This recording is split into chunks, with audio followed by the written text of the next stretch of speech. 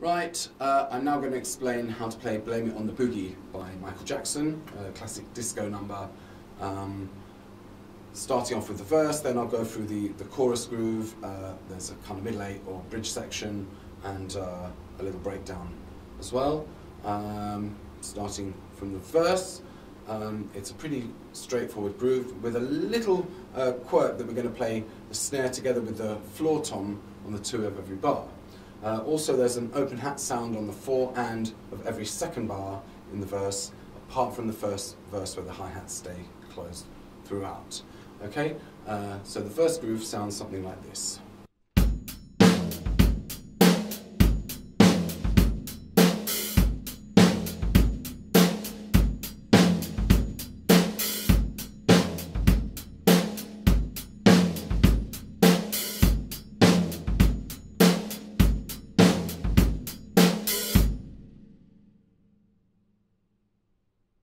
That's what you've got there. Um, at the tempo of the song, uh, you get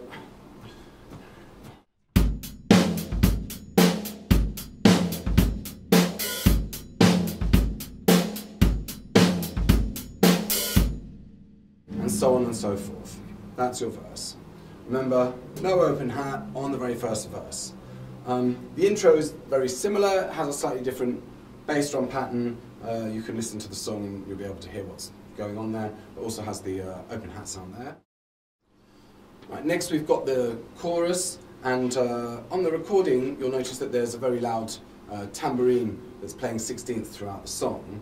Um, and although the drummer is playing an eighth note groove on the, the chorus as well as the verses, um, I quite like playing 16ths on the hi-hat uh, to, to lift it up a little bit if I'm uh, playing with a small band and there's not somebody uh, banging away on a tambourine. Um, so um, I'm, I'm, going to show the two versions of that. Uh, the first version of the chorus is, is what's played on the recording, uh, an eighth note groove. The hi-hat opens on the four end of every bar, and you can still hear the floor tom in there. Um, when we go over to do the, the 16th note uh, version, uh, it's not very practical to play the floor tom, you need an extra arm really to do it properly, so uh, we lose that. So uh, first and foremost, the eighth note groove for the chorus of the song goes something like this.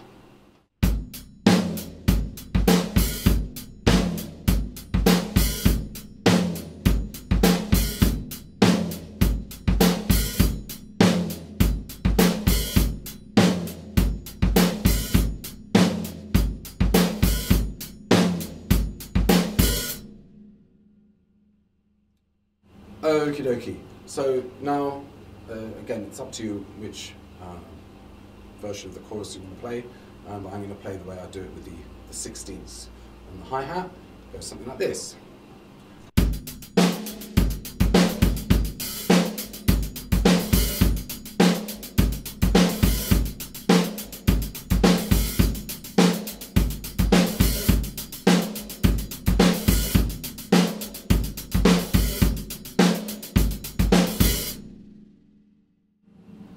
Slightly screwed up the first hi-hat opening there, you get the idea. Um, okay, so that's the chorus taken care of. Uh, you'll notice there aren't any fills in the chorus really. You want to just focus on getting it to feel good, not worry about um, flubbity bum all over the place. So um, after the chorus, uh, well, sorry, after the, the, second chorus, there's a, a middle eight section or, or bridge section, uh, call it what you like. Really, I've got into fights uh, people about this.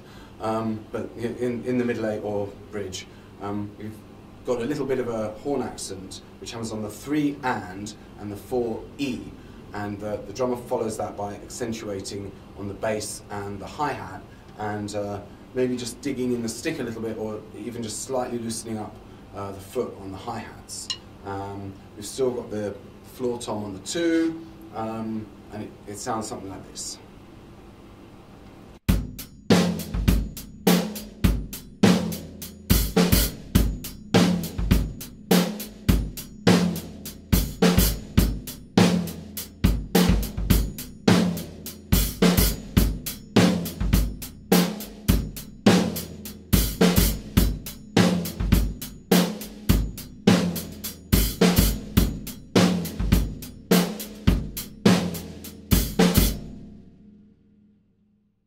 Yeah, so I'm kind of accenting that on the hi-hat.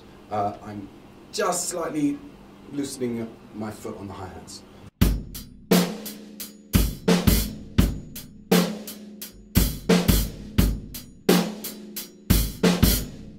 Yeah, just a little dig in the hi-hat there. Okay, so that's the middle eight section. Then um, it goes back into the chorus, and then we've got sort of four bars of a breakdown, which is basically the riff that they play on the intro. And here, um, you could definitely go to sixteenths on the hi-hat, and the bass is playing on the two and four. Um, if you can remember not to play a crash at the beginning of this section, and then we just end up with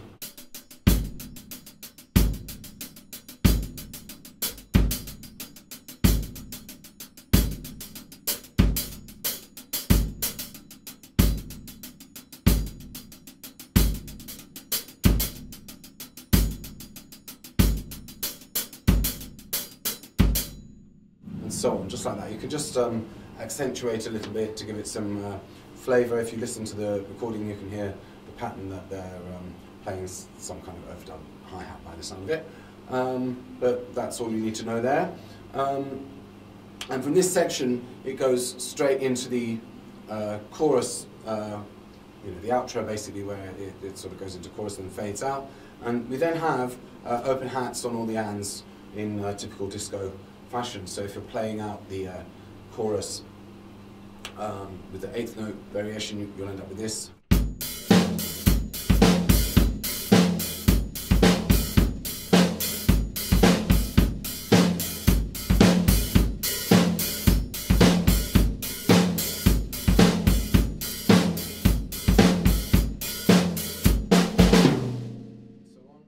Um, in the sixteenths uh, variety, it sounds like this.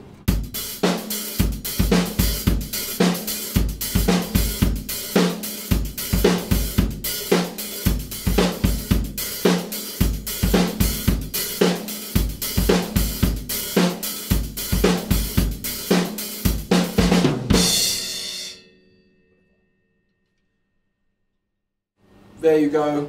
Uh, that should give you everything you need to know in order to play the grooves for the song. Uh, you can work out what the fills are. They're all pretty straightforward. Um, 16th note fills around the kit. Um, just have fun with it.